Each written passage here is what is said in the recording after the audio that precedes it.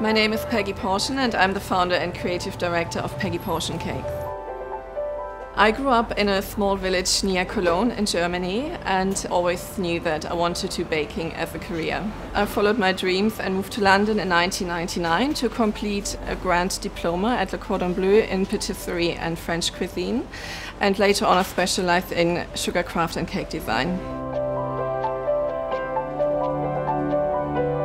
I'm very proud of our seasonal collections. Here we have our lemon loaf cake, which is very moist, bursting, full of flavor. And part of our queen bee collection, we have our chocolate and honey cupcake. So it's a rich dark chocolate cake filled with organic blossom honey, and it's topped with a sort of um, beehive made out of meringue and honey buttercream.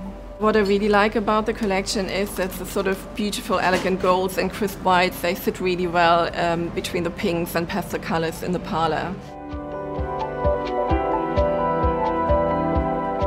We chose pink as the color for the parlor because it's really reflective of the brand we are. We, we work uh, for romantic occasions, for happy occasions, and it's really um, something that attracts people from a distance.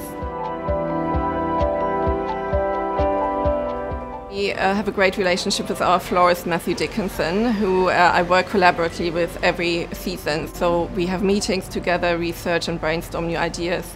And it's very important that our floral installation tie in with our seasonal menus as well. And um, I think uh, the entire experience for the customer works together. What they see, they can also taste and experience at the parlor. What I really love about Belgravia is that it's full of um, specialist craftsmen and individual boutiques. Um, it's not so much a high street feel, it's a very specialist feel and it's a hidden gem. There are some very exciting plans to be announced uh, in the near future. It's a little bit early to say anything yet, but do watch this space.